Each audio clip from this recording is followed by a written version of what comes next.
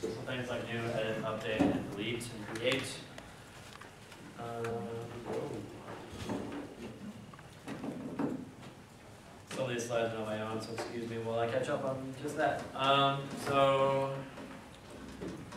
the first part he left off, he was talking about the posts and how that would show you all the posts in the database as an index and map to that index route. Post slash one uh, actually, that should be post slash one because Ruby on Rails actually does a lot of magic with pluralizing. It'll actually change things on the fly, so if you type in a route that should be, um, so it makes more sense to think about post slash one. So Ruby as a convention will actually automatically change that for you. Um, couple little bits of magic. And so now we actually want to do more than look at posts that we've created. We actually now want to create posts. We want to change posts. Change their title, change their content, and we also want to delete them. And that's where REST comes back, and we can actually start doing a lot more with those other HTTP verbs. That's where we can start doing a lot more with our controller, and a lot more Ruby magic, because there's plenty to go around. I've been doing Ruby development for a year, and there's still bits of magic that go, what, how'd that happen? Um, so again, REST stands for Representational State Transfer. It gives you a really common nomenclature for doing things like create, read, update, delete in a way that's uh, pretty much human readable. Um, you can go to things like Amazon or eBay, they all have what's called RESTful APIs. So you can think of, for example, Amazon might have an index of items, so you would have an items slash, um, and then you would have various things that you can search by, so you can do a search query on things. It's all done in a very easy to read way as opposed to the old fashioned way where you would have like index.php, question mark, variable one equals blah, variable two equals blah, it's very unruly, so now you can do, you can actually have slashes in there to represent that, it gets rid of a lot of that extra rough. Um, so again, it's a software engineering architecture um, that really is meant to organize those web requests. A couple, outlined a couple benefits, there's a lot more. So less overhead of exchanging information. And what that means is there's, traditionally, there's been methods like, it's called SOAP.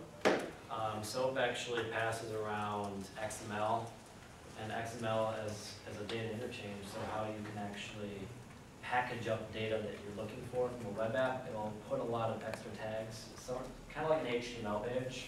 It's structured very similarly, and that's just a lot more data in an environment where you don't really need that. You can actually infer a lot of those details, and that's what Ruby aims, and Ruby and REST and all those other principles aim to do. Again, human readable, you can understand and expect what you're gonna get from a URL and what you're gonna get from data. So if I do um, cart, or let's say post slash one, I know I'm gonna get the first post. If I do posts, I know I'm gonna get all the posts. Um, If I do a delete to post slash one, I'm gonna delete the first post, right? Um, So it's actually a way that you can read a URL and actually make sense. And the third is a, is a bit technical. um, And I won't get into too much depth, but you can actually create stateless web applications. And what that really means is it doesn't matter how much I've been doing with the website, I can still do post slash one, and post slash one will never change. Um, it doesn't matter how much I've done before, because I'm telling the web server everything it needs to know to be able to give me that same result. Um, and that has a lot of really cool implications on like scaling, um, so you can add a lot more stuff. If you have more questions on that, I'll chat more later. Um, and so REST achieves this by utilizing those HTTP verbs Weston talked about before. Um, specifically, the five main ones that Ruby cares about are get.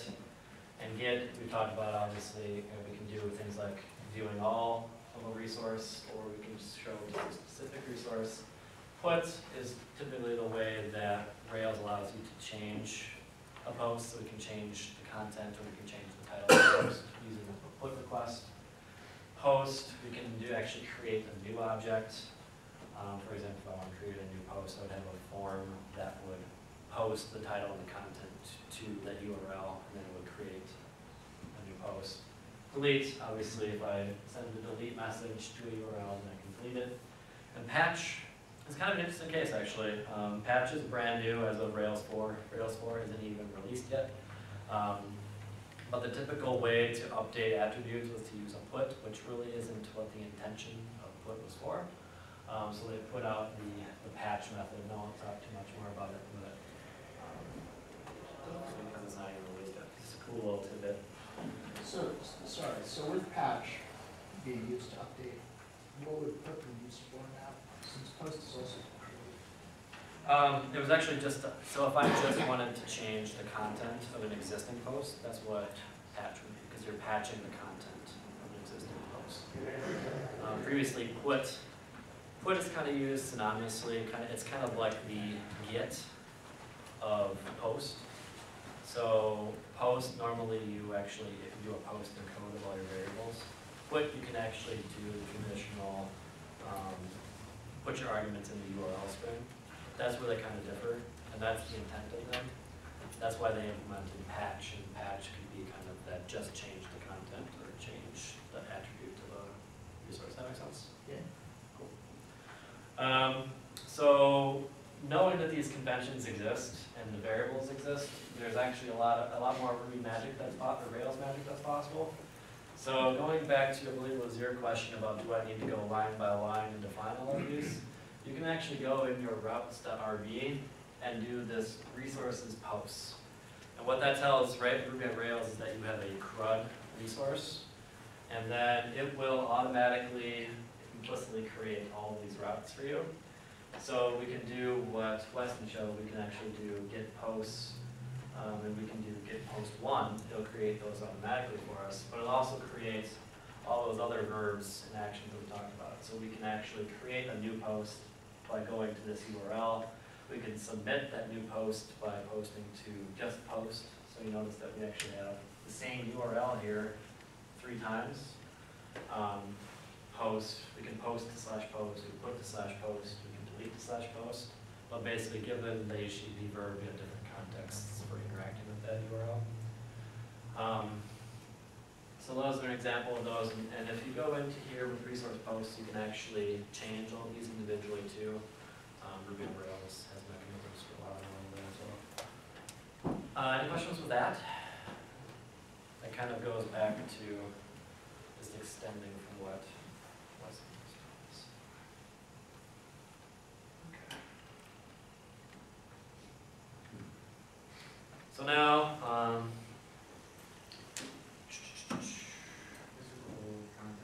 Yeah, this is old content, I didn't actually change this too much, but there's a piece down here that I specifically wanted to talk about that wasn't in the old slide earlier. Um, this is actually an interesting bit of, it's a Railsism that allows you to respond in different formats. Now, this is an interesting concept too, because how many of you have used mobile apps on your phone? Mobile apps don't consume HTML data very well. There are some that do, but uh, the typical best practice is to actually use something like XML or something like JSON, and those are just ways to package up data. And so when you actually request these URLs, you can request what kind of information you want back. I want an HTML page, I want an XML document back, I want a JSON document back, because as a developer, I want to interact with these data in different ways. Um, and so this is what this is actually for. And so respond to do format will push back the result from index. So when I request index, I can do index.html, and that'll automatically go here. And if I do index.json, it'll actually go to this and spit out JSON. That index page is a JSON file. Um, so that's really cool, something to just know. Um, So does that mean that you write the same application and you could have a mobile app written in whatever? You basically turn your web application into an API that can be consumed by a mobile app, yep. Can you do that without, you just skip the HTML pages and just make it a, There is that, um, is that how people develop, you know, companies develop really big apps that are gonna be huge? Yep, um, pretty much every major web application usually has an API into it as well. There's best practices that go along with it. Um, a couple of those best practices actually, um, forego doing this because you'll actually have a different, what's called a namespace. So instead of having, um, exampleblog.com slash index, you could actually, you would actually probably do exampleblog.com slash API slash index. So it's a whole separate pretty much be like project, two right? different Rails apps. Right, okay. Um, but yeah, you could definitely do it like this too. This is a good way to start. And then as those big companies grow, you can just put them out because they want to do like So, so you can actually build a Rails app without any of that RESTful stuff, because it's just really consuming a RESTful API then? Um, So really no, does it still have models then? repeat your question? So if you're gonna split those out and have an API and then a regular application, does that, you know, the web front end, just like a mobile front end, would be an application, a Rails app that really doesn't have Yeah, yeah. It just uses, um, consumes JSON? You can actually have a Rails application that doesn't spit out HTML. Okay. But that's actually a trend that's starting to pop out there, is because they have full JavaScript front ends. There's, there's frameworks out there like Backbone. and Oh, so you're not actually writing a Rails app then for the front end?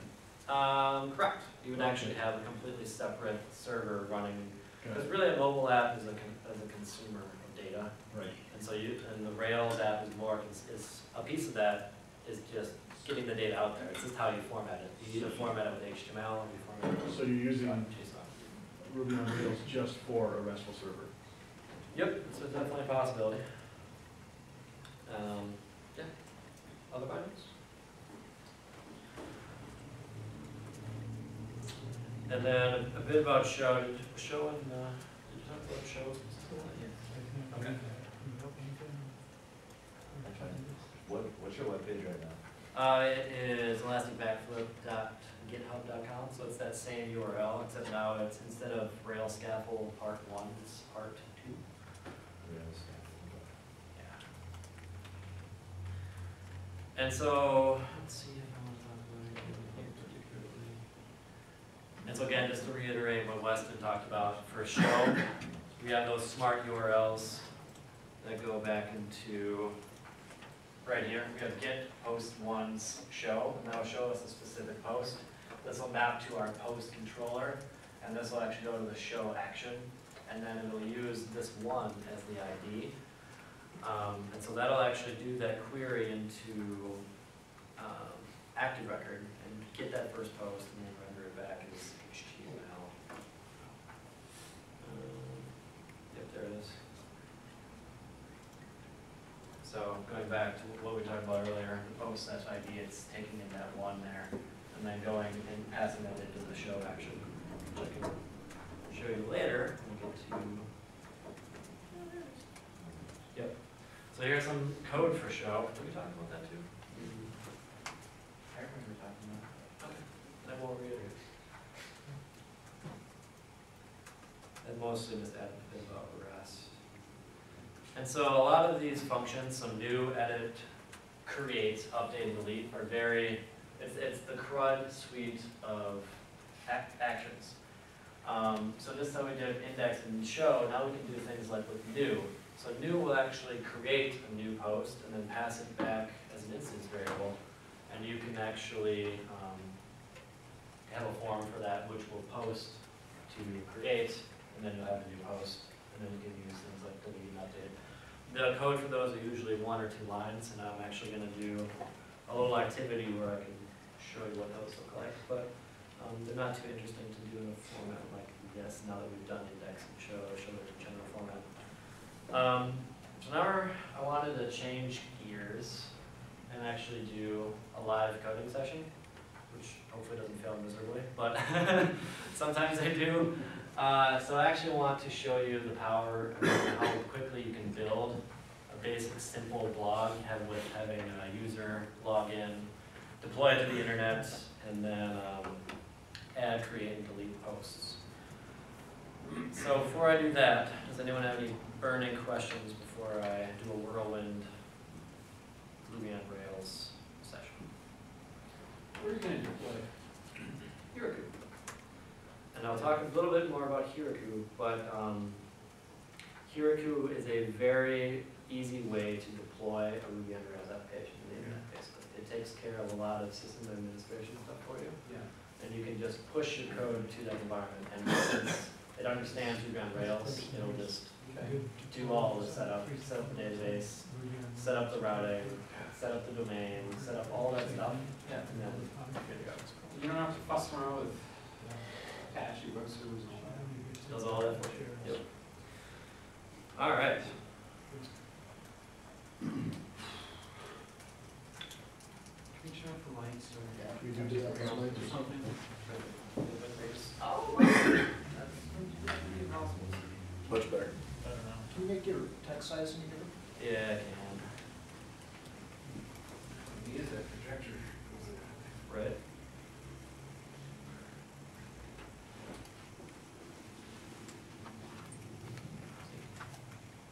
Yeah, that works. Perfect, yeah. Better. A couple more, maybe? I won't be able to deal with it anymore. That better? Read that? Yes. All right, so, here we go. So the very first step of developing any new Ruby on Rails application is gonna be this wondrous command Rails new. Um, just for a namesake, I'll probably go with just blog. So Rails new blog, it does a whole bunch of magic, we talked about this a little bit, it generates that directory structure. I was running bundle install still. And bundle install is that command that really takes all those Ruby on Rails dependencies here, you see them?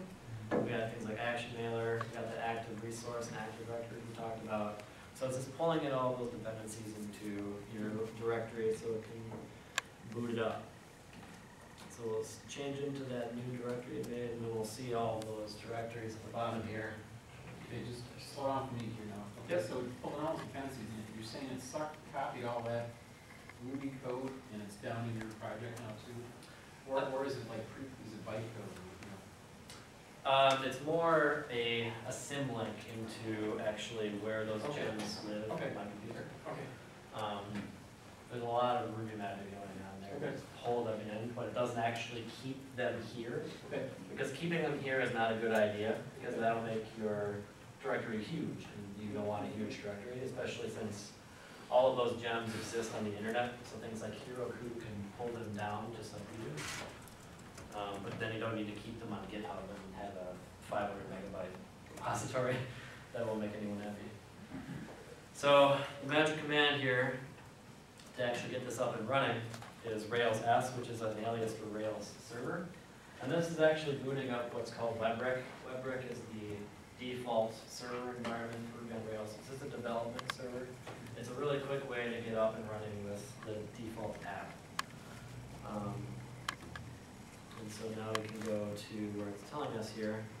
It tells us it's running on port three thousand. So if I just go to localhost three thousand, you'll see our brand new Ruby on Rails app. So now what this does, when you first run a Ruby on Rails app, it's actually pulling up from that public directory.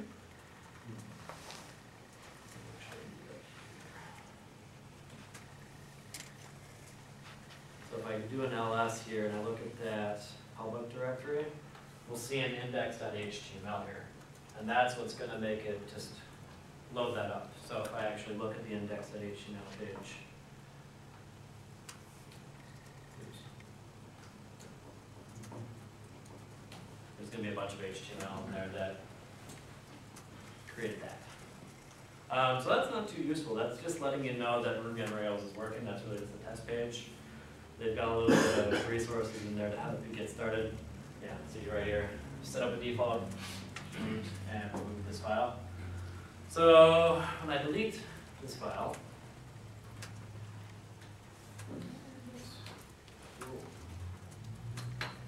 so I have deleted the index file that this is rendering, and now Ruby on Rails is going to render something completely different. Not coding, it's hard.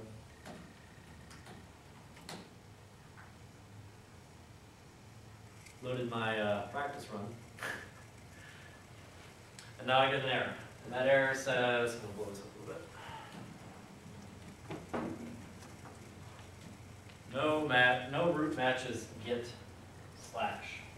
What this is telling, what Ruby on Rails is telling you is they don't, that routes.rb doesn't know what to do with your root um, request. So it doesn't know how to handle this. And so then we can go into our routes.rb file.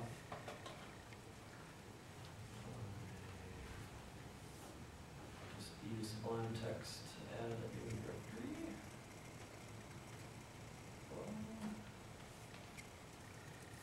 So that lives in the config directory, we got roots. There's a whole bunch of commented out text. You can largely ignore all of this. In fact, I'm just gonna delete it so we can actually focus on what matters. Um, But there is one piece of commented code that I do care about. Sorry, would you change your text size to Sublime Text too? Yes. Thank you. Uh, I don't know if I can make the directory one bigger. No, That's, that's fine, deal with it. Don't- don't That's good. we know there's a good tree out there. No, what? Tree, good tree. Yep. So just to show you what happens when I set the root to, so would anyone want to bark out and tell me what this is going to? Based on our earlier conversations with uh, the hash here. Index that Index.htmls, yep. But it's gonna be looking more specifically for the index action of the welcome controller, right? Yeah, so slash welcome slash. Yep. Initialize constant welcome controller. That's telling us that object doesn't exist. So that's crummy. Let's do some Ruby magic and make it exist, right? Um, so now another, um, so Rails has a series of generators. And so anytime you run into a situation like I need a new controller called this, or I need a new object or a new resource called this, there's a series of um, generators that exist that can actually do that for you. Um, so I'm gonna generate a controller called welcome with an index method. So this is gonna generate our welcome controller with our index method. And remember, that's where our um, root directory is pointing right? Welcome index. And you, what directory were you in before you, Um, this is in the root directory, actually. that's the root? This is the root directory, and actually, I think as long as you're in any subdirectory within the root directory, I think it still works. Because, I guess it's magic. Read your brain. So then it generates a whole series of stuff. Um, mostly what we care about is it created that controller that previously didn't exist. It gave us a root for that controller method I just talked about. It created all of our views that relate, so we got our index at HTML and it created our controller. So now, it generated a bunch of other stuff, assets and tests that we don't particularly care about right now. Now, if I reload my page, I'm gonna get a welcome index, and then it tells me where it is. Hooray! Um, well, that's cool, but that doesn't really do very much for us. So let's start, let's create the last, was it six hours? I don't know, last seven hours of work in one line of code. Here we go, generate, generate scaffold. Um, so what a scaffold is, is really, it's gonna be our post object, it's gonna be our migration to create that post object that we made, it's gonna be the controller that we need to have all the routes, it's gonna update the routes, uh, it's gonna do all of those things that we had done earlier today. Um, generate scaffold post content. Uh, Sure. Author? Actually, I'm gonna show something kind of, kind of cool. So if I forget things like in this command, the title just comes first. So if I'm, if I'm like, I know I want the post to contain content, and, and I want that content to be a text, I don't know, is this supposed to be te- content text, or is this supposed to be text content? I don't remember, I can Google it or I can just try it. Um, so if I do that, I'm like, run Google, oh, create a bunch of stuff, that's cool. Um, but then if I actually try to start using it, what the, what just happened?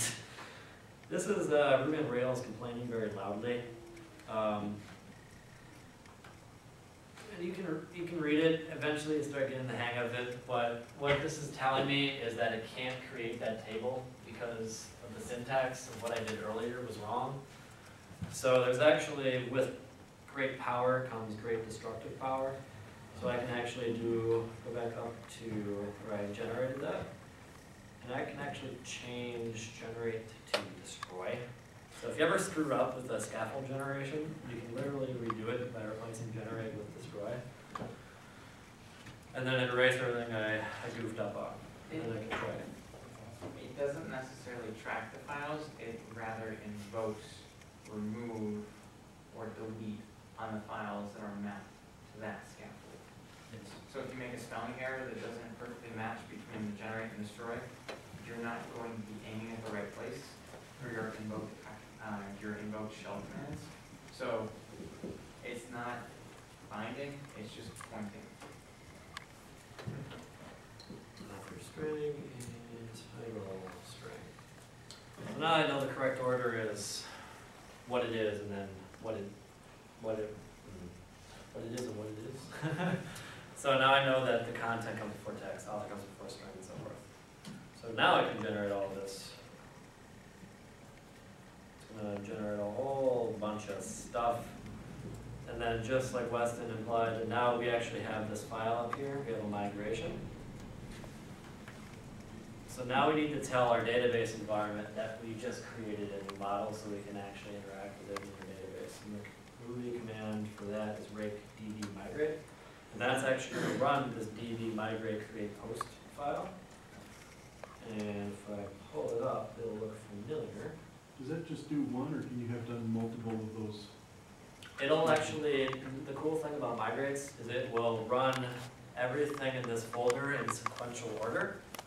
Um, so if I had fifty migrations in here, it would actually run through and see where it actually has migrated to, and then we'll just migrate from there.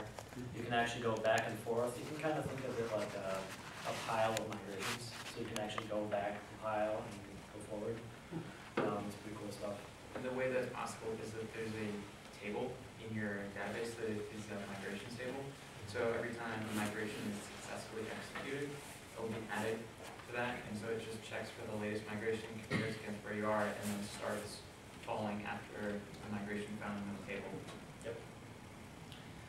So, um, again, this is very similar to what we were looking at earlier. This was generated by that scaffold command, so it created a content, author, and title with their various types.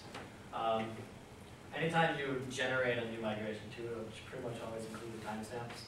And I think there's two, the created at and an updated at, just allows you to help track, you know, when things sort of change in your database. And it does that by default. So if I run that migration, These migrations actually move data around, they don't just change the schema. Uh, they can do both, actually. Um, I mean, that's like a whole thing in itself, it's just amazing. You can, just, there, there's a lot of power in it. you can use the, the relationships that you define in your models to change data. But it's migrations, so you cannot do it. Um, a, a best practice is actually anytime you need to change data, you do it through migrations. Um, somebody else do it. well, if you have someone else to do it, yeah.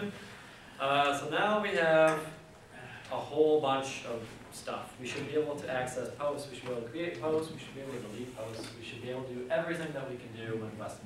Thanks, Weston. And we did it with two of code. So now I should be able to go to my domain slash posts, and there's a post. Or no post, because I didn't create it yet.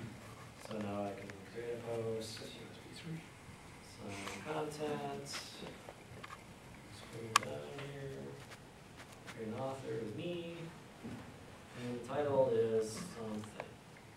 That's great. And we'll hit enter on our form here, it's gonna post to that, um,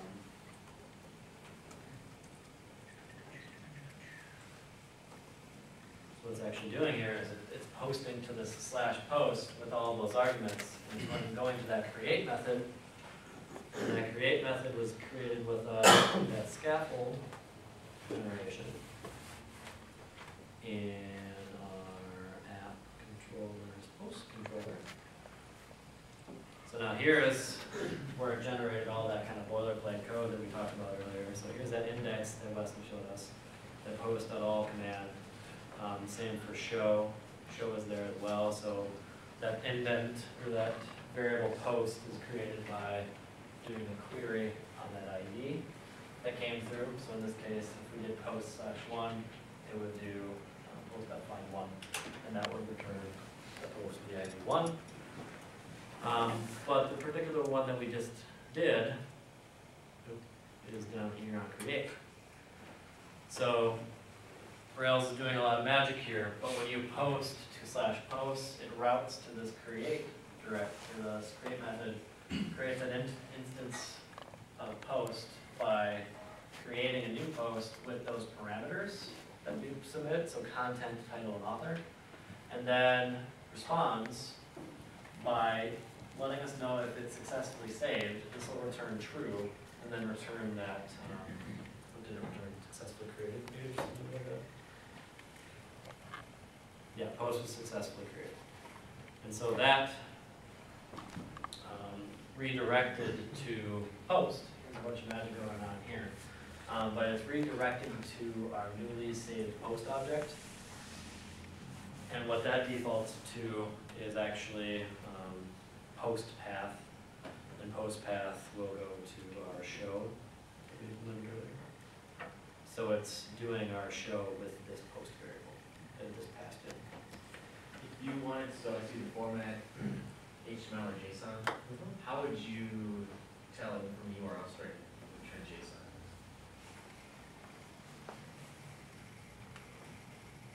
I don't know if you can read that, but in the post slash one, if you tack on a dot JSON at the end, That is Sweet. And bam, magic. What's, what that is implying is your HTTP request has a, um, response data type, text slash JSON. And so the URL informs the HTTP request to, um, request a specific format, and then it responds with a specific format. Nice. That's awesome. It also handles XML by default. So I just added this bottom line, format XML, render XML post.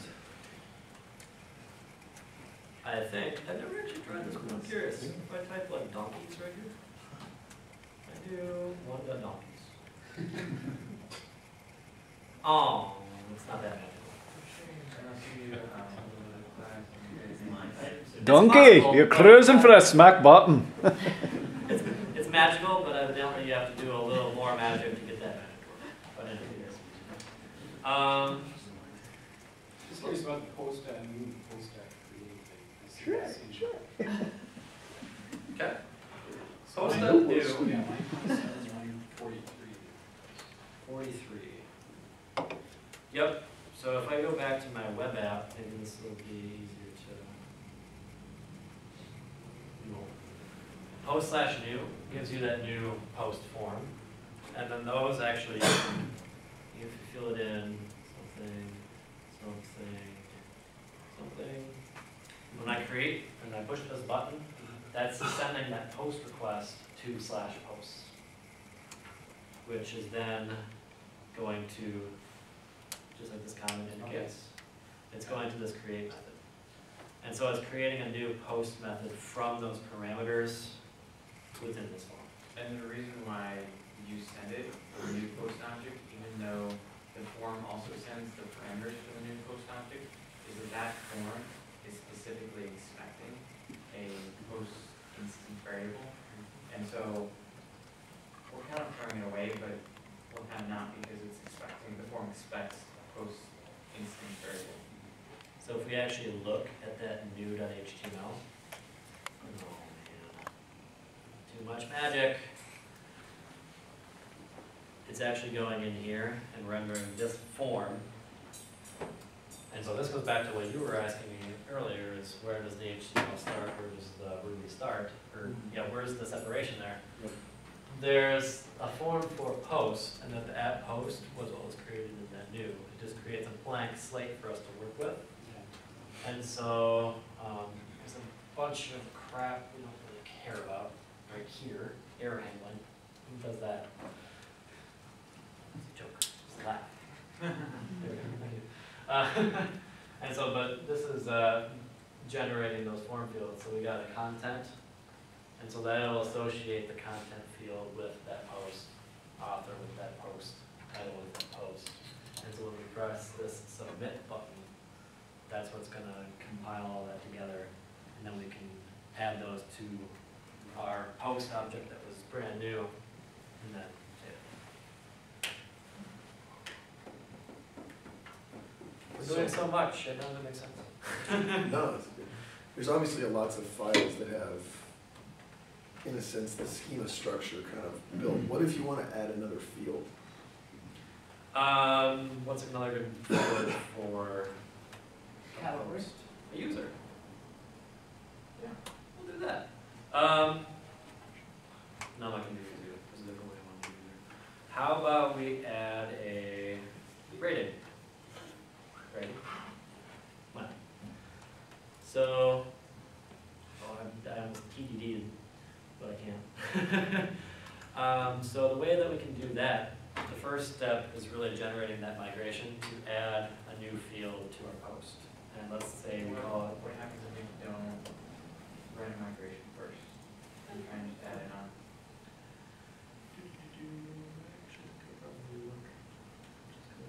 I like the early viewing development. yeah, I really wanna do test-driven development right now, but that's a lot to teach. There's already, so I just follow pretty much the nomenclature that's going on, I could copy and paste, but then you feel sick, so. Um, so we do rating. Follow our conventions here. Just FYI, if the looks like it's tedious with all the syntax, it is. There's better templating things out there that will make it go faster. Is this F dot integer field? What is this F dot? Suggestions? F dot number field? Haml, um, or Slim.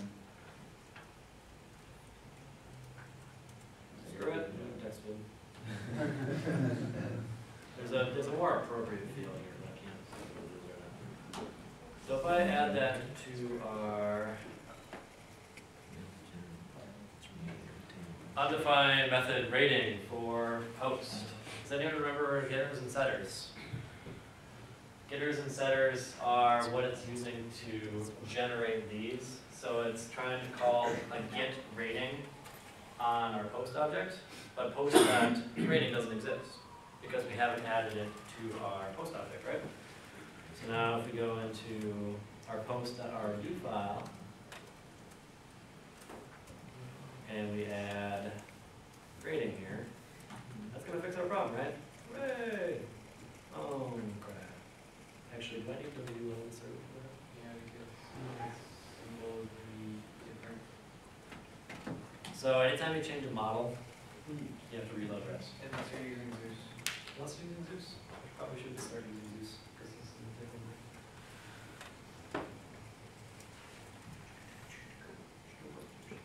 You don't have an end, the DIV and the HTML. You go over to, Actually, I don't think that's got it in here, but you're right.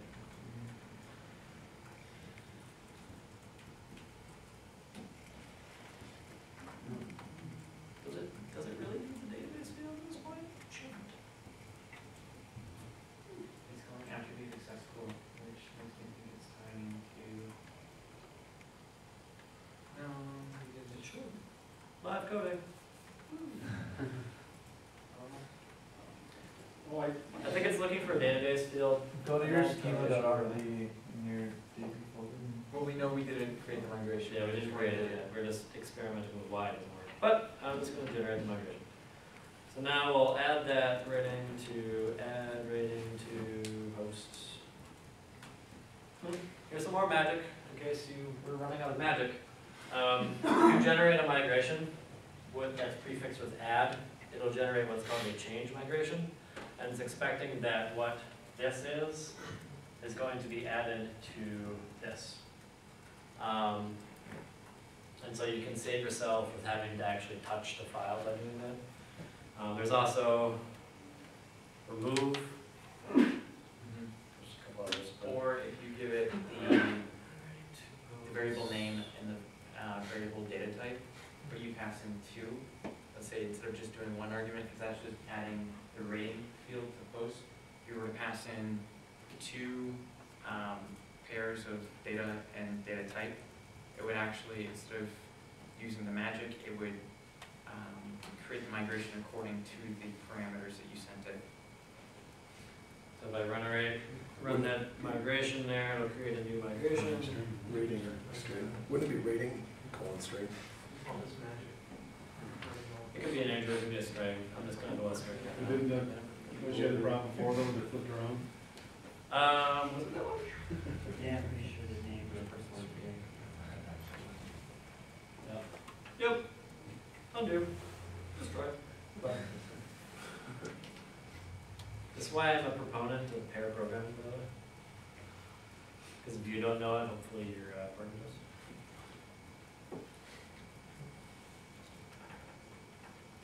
Nothing else, there's pair googling.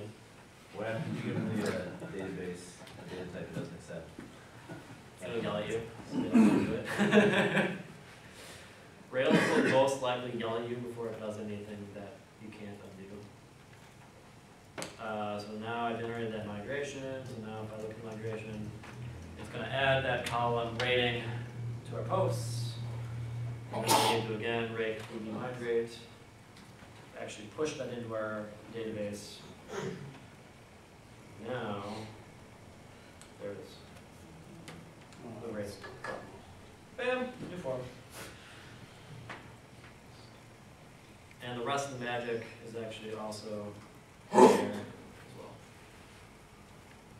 How do you relate object to object? Uh, Like if you want. I'm actually gonna do that in a moment. Um, Oh, right, okay, good. Yep. sure. so now we've got a post. That's, we can delete posts, we can edit posts, we can do a whole bunch of stuff with posts. You can just do the index, just get the list of posts. Sure.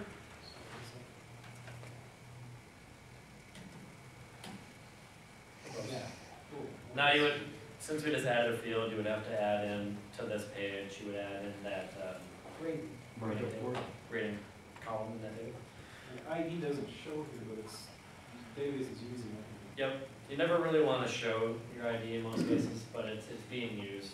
So for example, if I go to show here, you'll see that it says post slash one, post slash two, Okay. post slash three. So it knows, it's just not displaying it to the user because it's not particularly relevant. You more care about the title and the author and the content, so. So, let's add some authentication and users. Wanna see how long that takes? Yes. Okay. Go. So we go back to our gem file here, and we're gonna add a gem called devise. Devise is my recommended authentication engine. It'll handle things like signing up, signing out, logging in, sending confirmation emails, doing API authentication with tokens, um, password resets, it's basically the whole authentication gamut of functionality. And integrating it as easy as adding the gem, letting Ruby know about our gem by running a bundle install, and it's gonna pick up that we just added that, uh, line, devise, see, using devise. So now Ruby on Rails knows. What was the command that you, Should I command? Oh, sorry, bundle install. So anytime you touch your gem file or anything, you gotta let Rails know that you have a new gem in there. So now, we can do, and this is all documented on the uh, devise GitHub page, but I'm just gonna kind of breeze through it really quick. So now we can do another generator that when we added the um, devise gem was added to our Rails instance. So we can actually do Rails generate devise install. And that basically plugs in devise functionality to our Ruby on Rails. And just so you know, it's creating an initializer here. So there's actually a config file called devise.rb that you can tinker with. Um, I'm not going to for lack of all of sanity, um, but you'll learn a little bit. So it plugs in all that functionality automatically, and so now we need to associate it with a new user resource. Look at the routes.rb to show where it. So devise is different from normal gems in that it's, I think it actually does more magic there as well. Oh, no, no, no, no. We haven't generated a resource yet. We need to generate a resource. Okay. once So- you generate the resource, you can see where it's found. And so the next step in Devise is actually associating it with a user model, and Devise will do that automatically. And that'll set up, you know, the things like, um, your controller, your devise controller that handles all those routes. It'll set up your user resource, so things like name, email, password, it'll set up all that database stuff. Um, so Rails generate devise model user.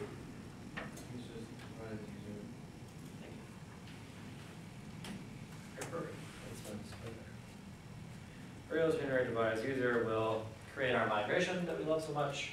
That'll update our database to have um, a user. It gives us our user.rb class file. It gives us some tests and our root that we're talking about. So we'll look really quick at a couple of those pieces. So here's the other caveat, within Rails, there's something called Rails engines. Rails engines are a package of model, view, and controller elements. So devise, because it has views, because it has models, because it has controllers, it's almost like its own Rails application all by itself. But it doesn't operate as its own Rails application, it looks to your application as the main application. So it's subordinate to it. So just know that Rails engines exist out there. So that command we just ran, it created a new class called user that inherits active record. And it set up a bunch of devise configuration.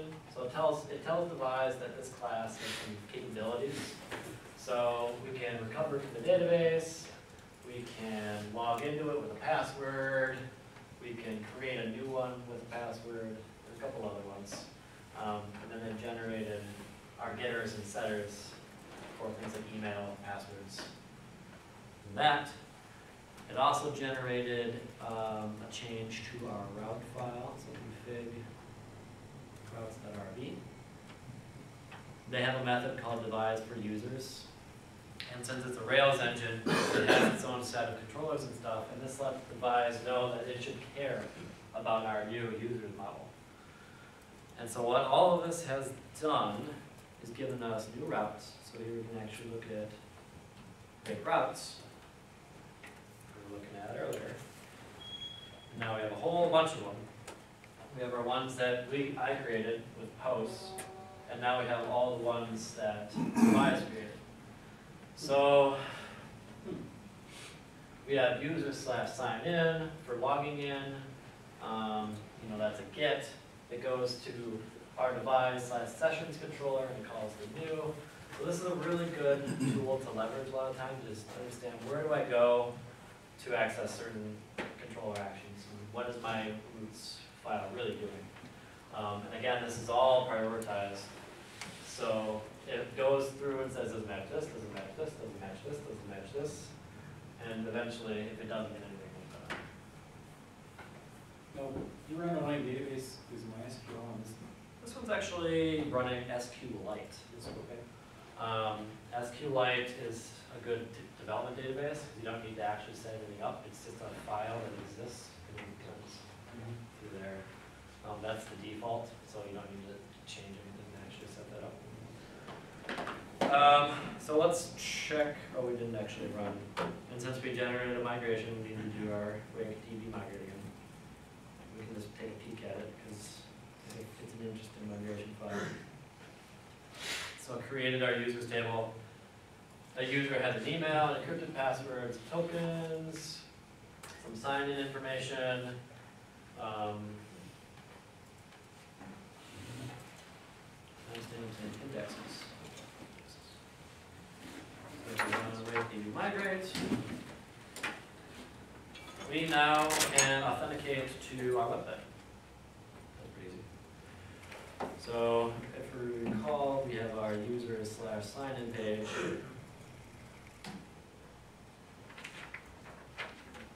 It's-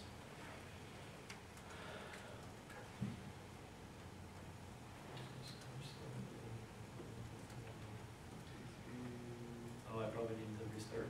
Yeah, I guess. Uh, restart Rails.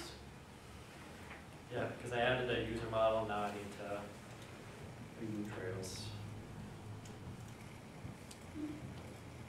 Hooray. So here's a sign-in page. It looks great, doesn't it? It's pretty awesome. I'll fix that later. So we can sign up, enter in some password data. Enter my email, test one two four, test one two four. Sign up. Hey, we're back to our index page. Now, you can't actually see that we're logged in, but Devise is actually now tracking that my email is derek.ada@rockwell@gmail.com. It know, it has some like session information for me, and knows that I'm authenticated. Um, so now we can do cool stuff where we go into this index page. Um,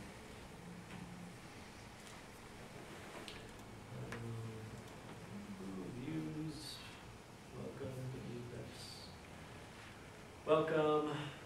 So now actually, let's say, welcome, and then my email. That'd be pretty easy, right?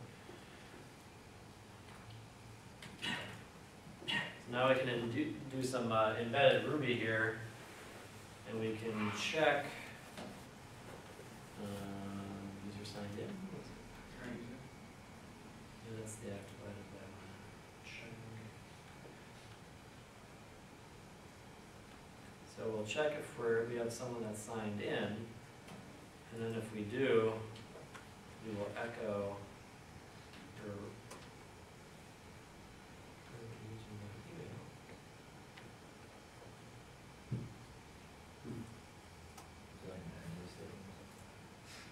Do you have to close the edge statement?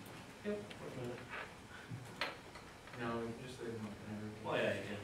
It's good. I don't know why you would. Else, I will just. So everything greater percent. Yeah. Yep, and specific to ERB and the way that they choose, evaluate Ruby. That's their template thing, they can do what they want.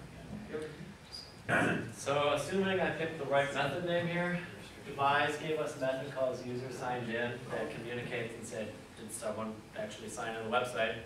If they did, enter this email, otherwise just display this text, not logged in yet.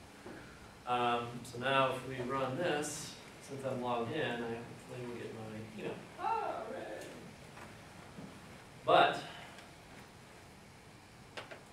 uh, I need someone to be, okay. Log out your son. So if you want to see what method they, uh, just devise created, and go back to that controller and take a look at that file. So since it's a Rails engine, it's actually referring back to the local installation of, um, Devise, and it's referring back to that. But Devise actually gives you the option of digging into that stuff. So I can actually pull up Devise's views, and it'll actually import those views into my project. Um,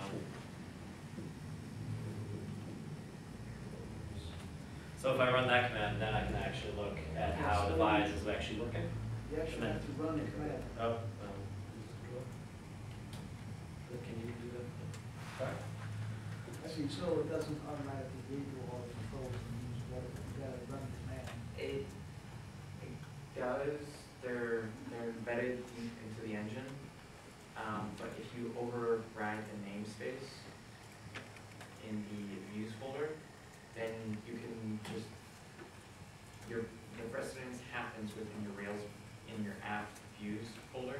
So if you have a file in there that collides with the same namespace as your devise, your app's HTML file is always different. So he's just copied all of the devise files up into his app, and so then whatever changes he makes are gonna be the ones that are rendered. Yep.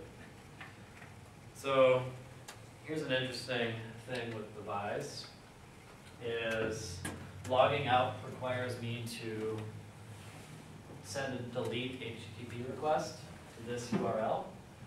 It's kind of difficult to do that with just the URL string, because you have to do like some fancy coding. So what I'm gonna do is create a link that allows you to log out once I'm logged in, right? And so we can actually put it right at the bottom there, maybe? Know, whatever. Somewhere. So, do some more Rubiness.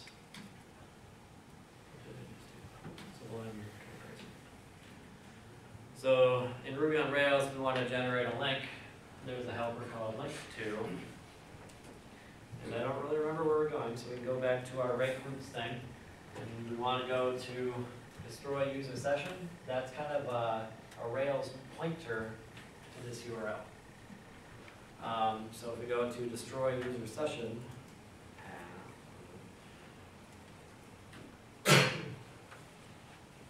That is gonna generate a link to user slash sign out.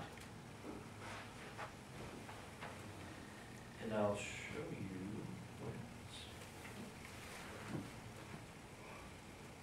So I generate a link, it's not a good name, so we'll change the name. There is an example of when you don't need parentheses. Someone was asking about that earlier, it was you, perhaps. So you can either do that, or you can forego the parentheses and just have it be that. Typically, do without, but. So now it says log out, and if I click on it, anyone want to hazard a guess what's gonna happen? Nothing's Why?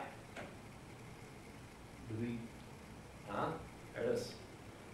No route matches get user sign out. Because the devise routes don't include a get sign out, it's only delete. What the crap? So, Ruby on Rails, being wonderful, has an option called method. Oh, And so now that link is going to send a delete request to that URL instead of get.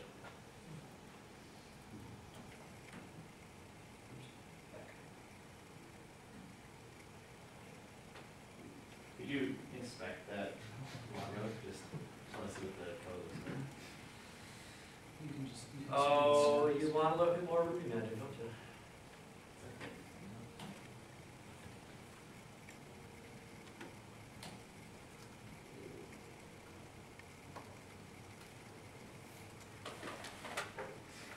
Just wanna see Ruby magic.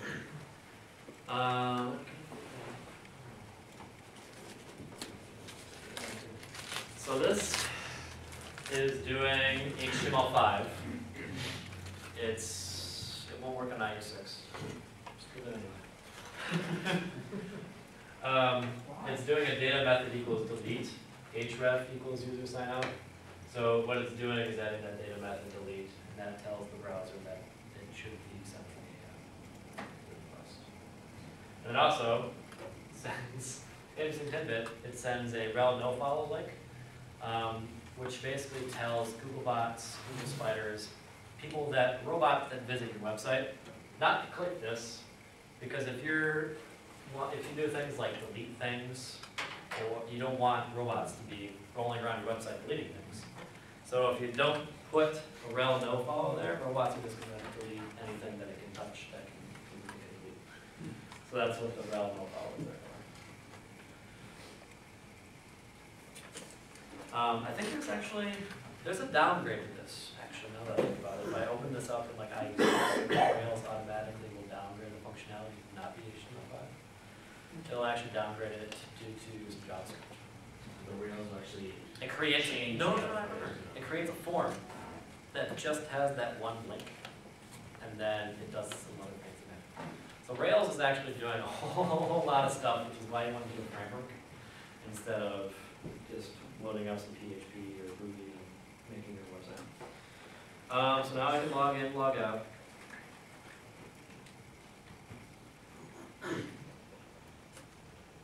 What's going on? Is it more robust?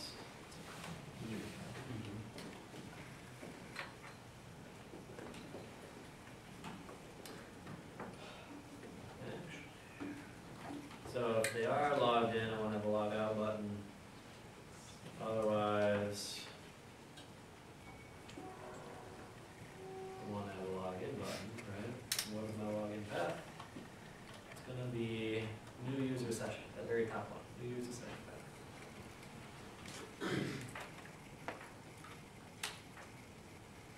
And I don't need any special method, cause that's a gift. Error.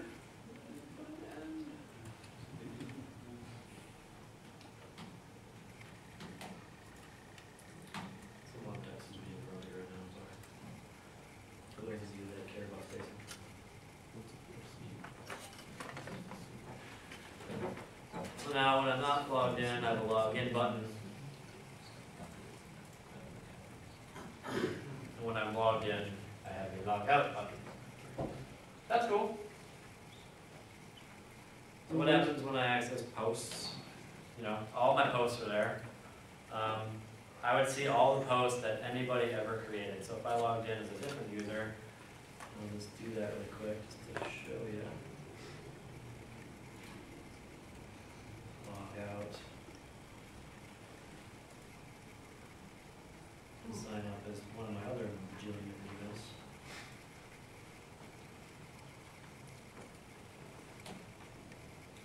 So is it detecting whether you have valid email or something? Actually, yes. It's doing um, an HTML5 email field, and that's automatically validating it for. Um, I'm looking at the post from the other guy. That's not that cool. Um, so this goes back to your question of how do we know who owns what posts? So now what we can do is associate a user or a post with a user. And so the first step to doing that is informing Ruby that the objects are related.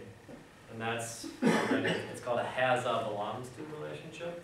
So if you think about it, um, think of this room as an object. This room has many tables. It has a Weston. It has a Derek.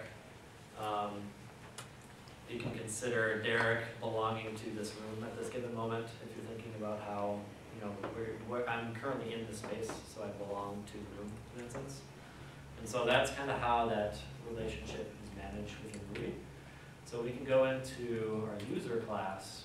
We can tell Ruby on Rails that a user um, has many posts. And then we can tell Ruby that a post belongs to a user.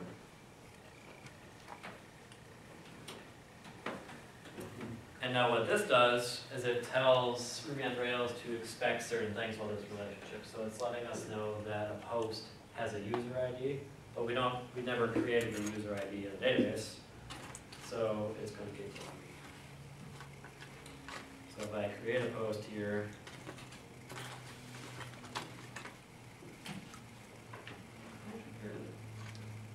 Oh, I didn't may change the model. The black magic that's going on in covers is the fact that the has many and belongs to is setting up foreign relationships, which then Rails will automatically recognize and use um, in order to create the relationship between objects. That's, is that active record then, or am I doing that work? I believe that's active record. Active record, it's mostly. All of your models inherit from active record base. So now I want to add that foreign key to our post. So again, generating migration. Add user to posts. Oops, oh crap, stop. What is it? Um. Yep. There's a double tap. It's that way. Other way? No, it's that way. Yeah, no. Nope. It's that way.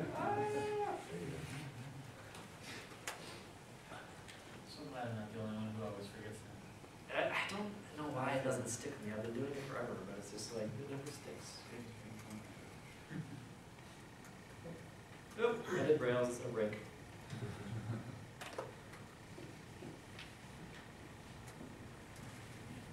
Now, we've got a user ID in posts, so now we can actually start associating those. Um, Would you have to restart your server? Interestingly enough, not for that. Because the queries are dynamically accessing the database, so you don't need to change it. When you need to reload Rails is when you're changing the actual model, because it's already, it's all loaded, It's already there. but it's not updating the models as you change them. Caveat, there's a little gem out there called Zeus, that will automatically reload your environment anytime anything changes. It always watches it, so you never have to do the whole restart business. And on projects that take twenty seconds to spin up, so nice. Also nice for the necessity. Yeah. And so now, when we go to that index, we don't care about all the posts, we only want to see posts that belong to our current user. Actually, interesting backup here. But I only should allow people to see posts if they're logged in. Right now, I can access my posts when I'm logged in.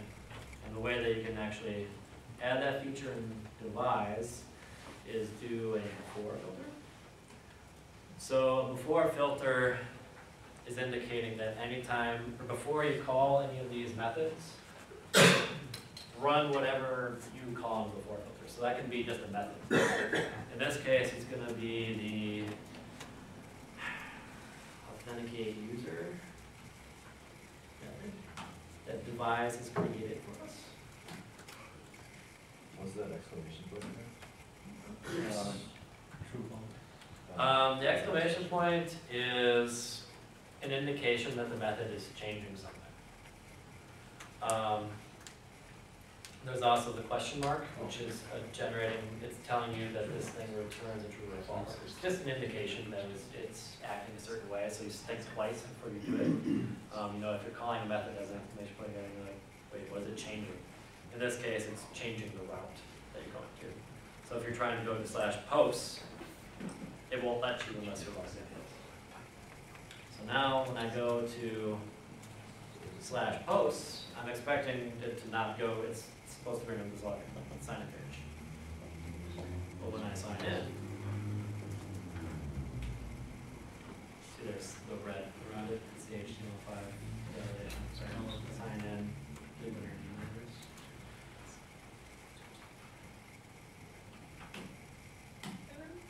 email. And then it directly posts. It's still showing me all the posts, but they haven't actually changed it from post at all to whatever would need to be to only show the post relevant to the user. So can you put the before filter in certain methods? Like if you're trying to create a post, you need to be authenticated, but not if you're Yep. actually in there. You can, um, do, Except or only, so you can find, fine tune uh, where it is and where it doesn't. You can also put it is that the right within, within the application controller, and then. this is blanket Ruby statements. specifically, but it's using a lot of And then from magic there, you functions that Ruby It's can kinda Yeah, like and that's look at not- the response and that's sounds pretty similar convenient. to Yeah. joins. The case statement. Logic, control what you want to protect. Is it, is this syntax? Uh, yes. So now that I changed that, theoretically, if I got the syntax right, if I log out, now I should be able to view all the posts, because I'm not logged in, but I can't view specific posts. Because I put that in big It's so cool. And then if you wanted to go to two before filters, you could, you just declare there would be a before filter would happen on each line, rather than tagging them or creating a before filters. So now, we can actually use, since we have authenticated our user, we know that we have a current user. Devise gave us that method, current user, to let us, you know, give us access to the object that represents that person. Um, just like we used in the, in the view to get the email or the current user dot email. Now we actually have a method called current user dot posts. So that was given to us when we did, um, we told our user class that it has many posts. That gave us the user.posts method as a getter. So now, I'll go back to my post controller, save it, and then do that. I have no more, posts anymore because I haven't related, or I haven't created any posts that have a relationship to the current unassigned user. Um, so now theoretically, if I went in here and I did la la la la, la, la, la, la, and then saved it, it should be there, right? But it's not. It is. Because I haven't, when I submitted that, I didn't associate that post with user. So I would go down to my create method here. See this post got saved? That's actually where that post is going back to our database to be persisted, to be saved forever. So now, the post that new params post, this doesn't have anything, any information about our user. We didn't let that form know that our user ID was in there. Um, so there's a couple of different ways to do it. We can embed a user ID in that form, or we can actually just associate our uh, user with post after the fact before it saves. Um, I would typically do this method uh, because you want to be wary when you start changing user IDs and stuff in a form because anyone can change that before they submit a form. They can just post user ID seven thousand eight hundred sixty-six instead of whatever user you may be logged in as. So if I do post.user equal current user, now when I save that object, it'll associate that user to be whomever assigned. Give a Shot. Post. What do you log for, You could, um, theoretically, yeah, you would, Yeah. um, I just haven't made that Oh, change. just, This is why. just makes for, uh. For, yeah, exactly. Yeah. And so now I'm listing all my posts. I have a post that is related to me. If I log out, and log in as my other guy.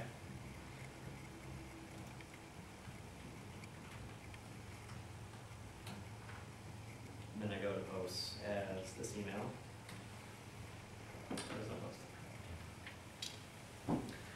So Um, all the posts you added before you associated the current user posts just have an empty field in the database for the Yep, they have a user? user ID of nil, so they're never really gonna show up anywhere because they don't have an associated existing.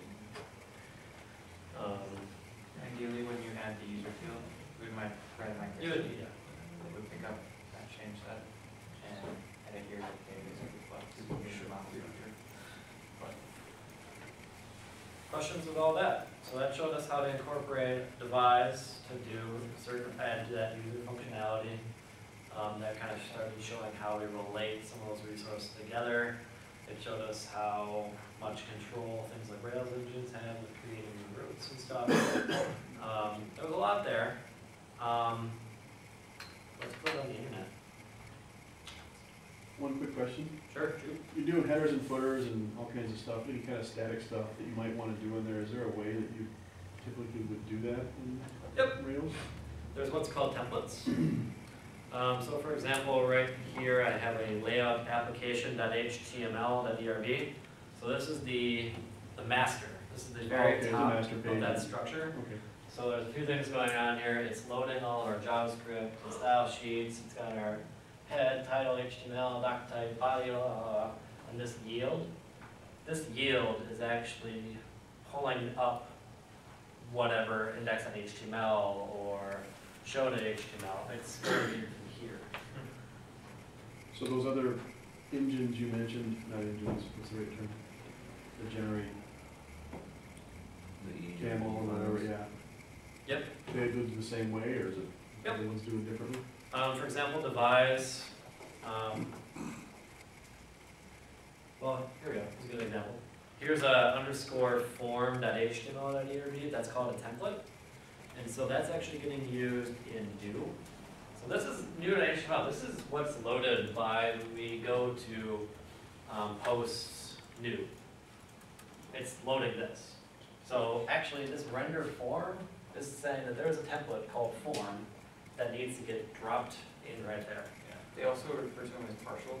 Oh, Also, okay, sure. There's sometimes you'll see methods in projects where it's render partial. And so you're saying, don't render, I just wanna render a short snippet, and it's an explicit way of saying, we're rendering a little bit of HTML here, here, here. So this is where like a graphics artist, you give them those files, they would tweak them. So they can make it fancy and whatever. Yep. Um, so there's definitely ways where you can break up a website into very small pieces. Um, and then also, you could use this form partial in a bunch of different places. Um, so if you ever use the same HTML snippet of code, like five pages, you could turn that into a template or a partial, and then just start rendering it. Yep. Does that form have to be in a certain place? Like if you're making a new user, you have to. Um, so render form here, this is doing some Ruby magic that says in the current directory, look for underscore form dot HTML. They just kind of shorten it down to that Google syntax. Um, but if it was in a, a subdirectory, you could do, um, layouts, form. What if you wanted to use, uh, you know, coming back to the kind of the beautifying look part of it, use something like Bootstrap or one of these other Wanna see UI, Bootstrap? Here you go. basically just throw it in as the, at that master page or something? You just do a gem install. Do it Right oh. now, take five seconds.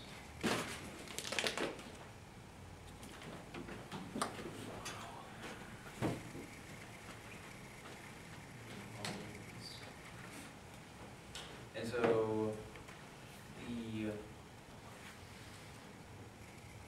interesting thing about CSS and JavaScript specific gems is that you're not just referencing Ruby code, but you're referencing, um, essentially a list of CSS and JS files, and then you're adding it to your manifest files, which then, There's a bootstrap install.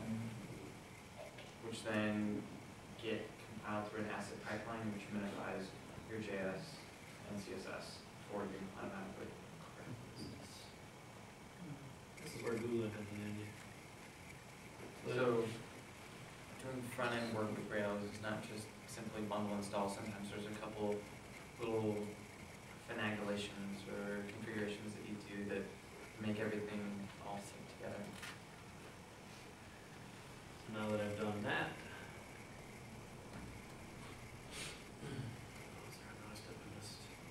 There's a bootstrap install. Is there?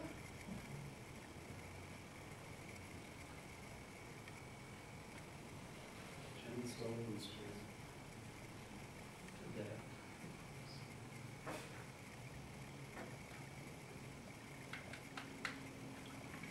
It's called a gem. PG required, CSS. I just did the CSS here.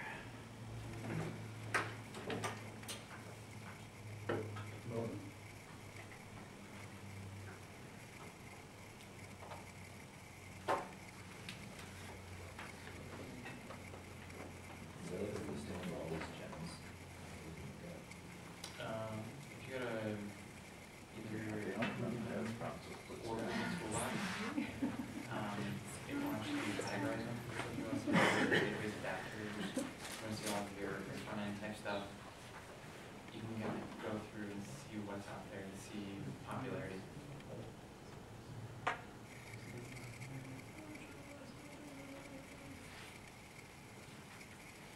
There's also, um, on the what do I do next page, on the event zero zero one page, there's something called the Ruby Five podcast. And they essentially take five minutes, two times a week, and run through Twitter, tools, various new stuff.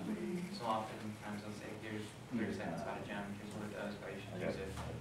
And they then, um, other, other you can go to. So if you're trying to get inundated with the Rails environment, um, just listening to that will kind of help you understand what's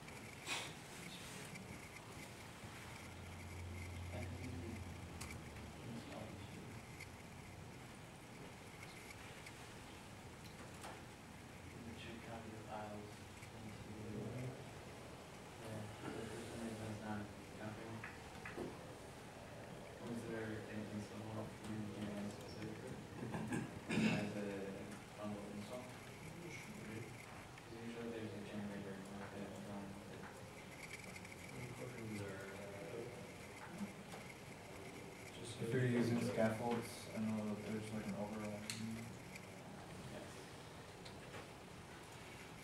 Sure, it's not, yeah, I mean, that would be a problem, but it wouldn't be this problem. Couldn't find a file for.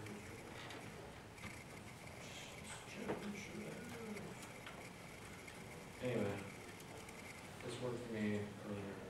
I'm not gonna, worry about debugging it right now. Oh, yes. Normally, in a perfect world, um, it's, it's as easy as loading a gem and then doing the necessary including, uh, the assets. And then everything is passed through the bootstrap CSS beautifier. Yep. Um, oh, thing on the. So. This is Heroku. Uh, Heroku.com is a cloud application deploy scale Power Apps.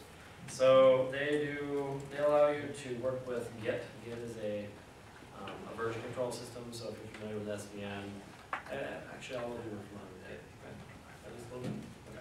So Heroku leverages uh, the Git version control system where you can actually push a Ruby on Rails app to the cloud and do all the deployment and make it the internet accessible. There's a few, two or three steps um, that you need to do to actually get up there. Um, first of all, I mean, you need, a- you need a login, so you need to create an account. Heroku is free um, for a certain level of traffic. Um, but I definitely recommend it just because you can do cool stuff like this. So I do my Git index. Is it a big pain to, you know, was, I'm gonna later on, you had your own pages? It's a little bit of a pain to do SSL and it's available for it, but, um, but the general use no, it's, it's the simplest thing you've ever gonna do. Once you learn how to do automated deploys with Nginx or like Apache with like Capistrano, And it took me eight hours to sit down and figure it out. But once I figured it out, it takes thirty minutes to start. Five Well. That's some code, you've seen it run locally. I ran two commands, I basically put it on Git, and I did a Heroku create. And now that Heroku create gave me a Git repository that Heroku heard about. And so when I push my code to that remote, Heroku's gonna pick it up. This isn't gonna work, by the way, I have to do it, but just to show you. Um, so there's a couple things that Heroku is doing. It's pulling, right now, it's pulling down from version control, detects that it's Ruby on Rails. It's doing that bundle install, so it's getting all those gems that your needs to run. Um, it's installing them automatically. It will then compile your CSS and your JavaScript into a file that can be used to render. Um, so now, here's an interesting case. An error occurred while installing SQLite. Heroku doesn't support SQLite um, for various reasons. So what you would need to do is not let Heroku run it. And I'll show you the line that's making it angry. So right here, gem SQLite three. That needs to be not run for production, because Heroku is running this as a production app, there's different configurations for each level that you use. So there's a development, there's assets, there's, um, production. And so we want to make sure that this is actually just being run in our development environment.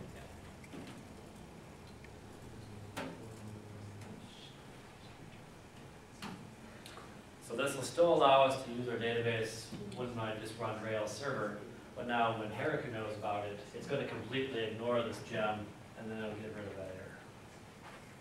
Does he use a different database? Yep, uh, Heroku uses Postgres. Okay. Yep, uh, which actually, thank you for reminding me, I need to include the Postgres gem. I know. So we include the Postgres gem, Should that be for like a production or anything? Sorry? Should that have a wrapper for production only, because you don't want that? Um, it can be in my development instance, I'm just not using it. Oh, okay. Um, because there's the second piece of that that Weston talked about, remember that develop, or that database, that database.yml file? Heroku actually overwrites that, but, um, your local environment, it won't use Postgres until you say it's Postgres database. Do a bundle install. I commit my changes, Heroku, remove SQLite from development production. do my Heroku, git push Heroku. So Push that, and then new commit up to Heroku. Um, it's gonna do the same stuff. This time it should be a little faster because that local environment already has one of these gems. It's gonna error again probably. There's one more change.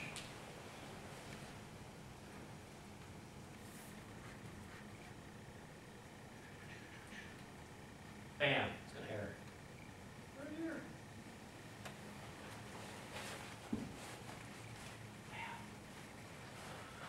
So, there's an interesting thing. I'm not gonna dive into the details because it took me, it confused me for a very long time. But it's trying to connect to a database that doesn't exist yet, so you're getting a connection refused there. Um, that's because your Rails app is actually initializing. So there's a configuration that if you, it's pretty easy to Google. If you Google just Heroku connection refused, it's pretty much the first one. So you'll see the error that we just saw there, they outline it. Blow it up a bit, and they give you a solution down here. So they tell you to put it in your application.rb file, so that's your configuration file for your application. And this tells it to, don't start the Rails app until you're absolutely done initializing Rails. Um, and that'll get rid of that connection error. So if we go to that file that they told us about.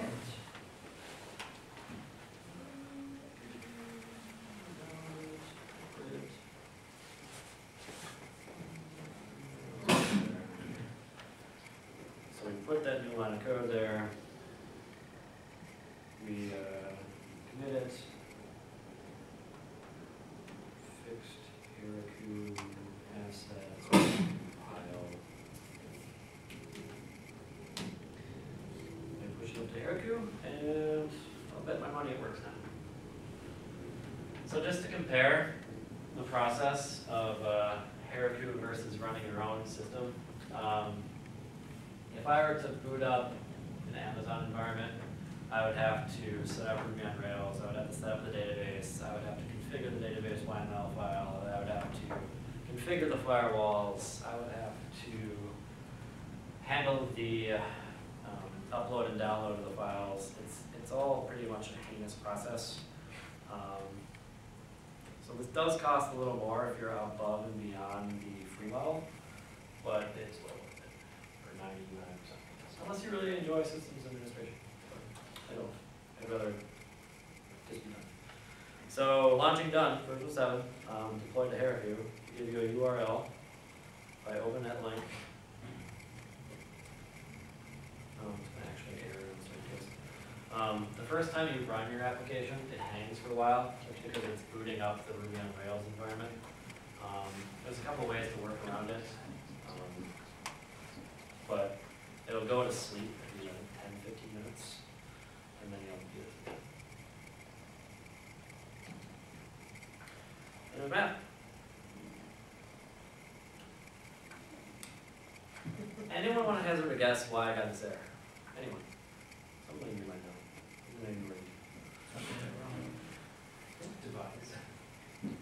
Mm, kind of.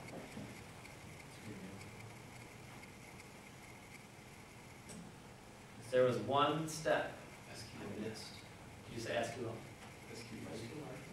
Kind of, yes. It is database related.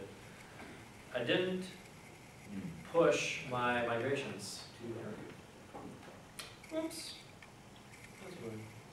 And the way they can do that in Heroku is Heroku run, I have to be detached. Reasons that are right. Um, break each. So you basically have, I don't even know the regular command for doing this. What is it? Just, uh, who, who run. Is it just, is it the same thing without the I thought attachment? this attachment column.